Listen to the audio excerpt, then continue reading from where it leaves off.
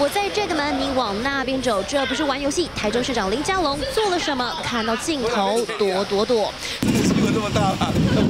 市长口中没什么大事，保育人士听起来不认同。台州市区晚上夜莺叫不停，林佳龙带头教导如何驱赶。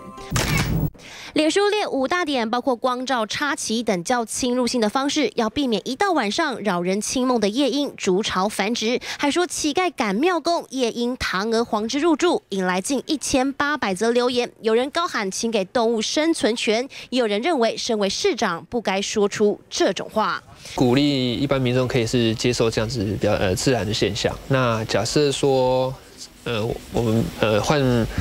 比较密闭式的门窗，或者是戴耳塞，那还是没有办法睡觉。然后觉得呃被吵到的话，那不得已的话，只好再用市长的建议的方式。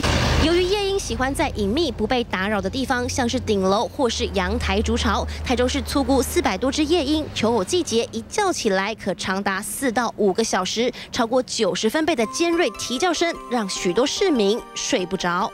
这个起因是因为有人成情。